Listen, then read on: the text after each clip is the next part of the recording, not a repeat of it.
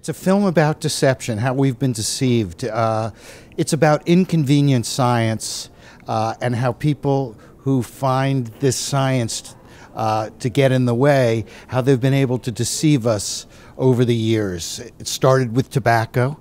Uh, they knew tobacco was deadly uh, in the 50s, and yet for another 45, 50 years, they were able to keep saying their questions about this product and they were able to keep selling it. I'm not a scientist. I really don't want to, you know, sort of find, I'm not an expert at all about uh, what's happening, but I think on a simple level, 30 years ago, we figured out that CO2 causes warming of the earth, and it doesn't only go up. It's like the earth catches a cold.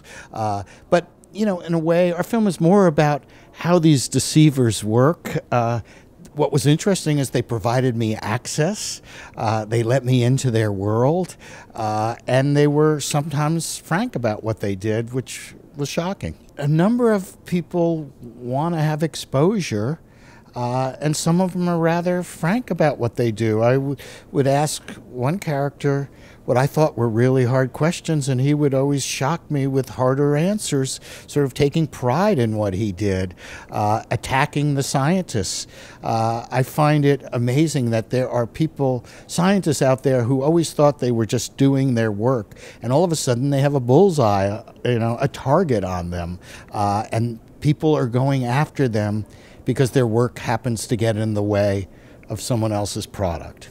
The one thing I wanted to do was make this an entertaining film, not an earnest film. And it's sort of it's the irony of you know almost inspired by "Thank You for Smoking" or something. You know, of trying to figure out how do you sort of create a tone that's just not obvious. And that was the fun part of going about it with Merchants of Doubt. Well, I think irony is probably better than comedic. Uh, no, but a lot of it came from the deniers themselves in a funny way that they were, uh, as they say, from their point of view, is keep it short, keep it simple, keep it funny. And I was thinking, you know, on one hand, we were inspired by Naomi Oreskes and Erik Conway's book, but I was also inspired by some of the deniers to how do you deliver content that will be of interest to people.